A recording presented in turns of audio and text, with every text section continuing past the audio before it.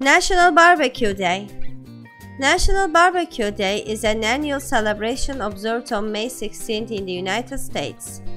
It serves as a reminder of the delicious food options available to Americans.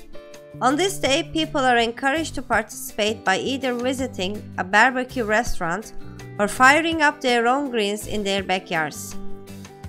The emphasis is on celebrating the day with enthusiasm and enjoying the flavors of barbecued food.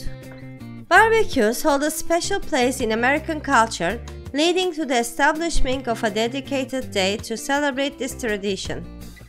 While barbecuing originated elsewhere, it has become an integral part of American society. Barbecues have been cherished since colonial times, and they were an essential aspect of any celebration. After the Revolutionary War and the construction of the first bridge over the Missouri River, barbecues gained immense popularity across the nation. American presidents, including George Washington, have been known to host an extravagant barbecues during the times of success and on special occasions.